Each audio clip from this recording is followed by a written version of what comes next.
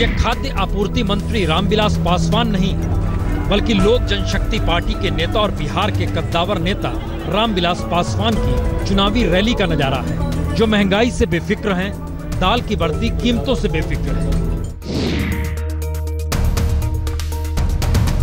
एक महीना पाँच दिन पहले प्रधानमंत्री नरेंद्र मोदी की अध्यक्षता में कैबिनेट मीटिंग में फैसला हुआ था कि दस हज़ार टन दाल आयात किया जाए।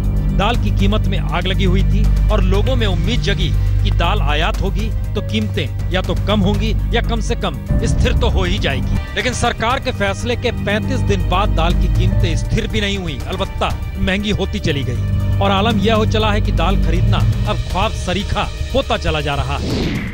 और दिल्ली में कैबिनेट के फैसले को लेकर जब कैबिनेट मंत्री पीयूष गोयल से पूछा गया कि दाल की बढ़ती कीमतों को लेकर सरकार क्या कुछ करेगी तो मंत्री महोदय ने पत्रकारों को चाय पीने का न्योता देकर कुछ इस तरीके से प्रेस कॉन्फ्रेंस ऐसी खत्म कर दी। थैंक जिज्ञासा है प्लीज़ दाल अस फॉर द बढ़